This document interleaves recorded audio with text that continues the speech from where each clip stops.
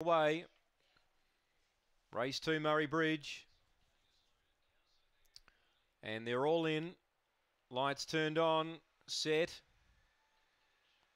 Racing, spearing out maximum stress, came out running, holding the rail. Victor Brody, they all they collided, and around them goes Black Kruger. Black Kruger ran to the lead now.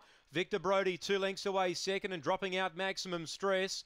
They turn the bend. Black Kruger by three. Victor Brody does the pursuing, but down the straight. Look at Black Kruger go. He's loving it at Murray Bridge. Races away to win by four. Victor Brody second, and third maximum stress after beginning well. Copped some interference and dropped out to run last. So Black Kruger, box five again, down the middle of the track. Black Kruger came.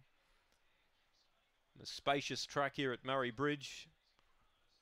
And thundering down the middle of the track, Black Kruger went to win. Paul Bodsworth.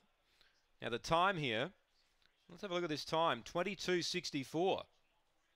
So let's have a look at race one. They went 23.17. 22.64 is the time. That's a good run. 22.64. Black Kruger, number one, uh, number five, I should say, first. One second, Victor Brody.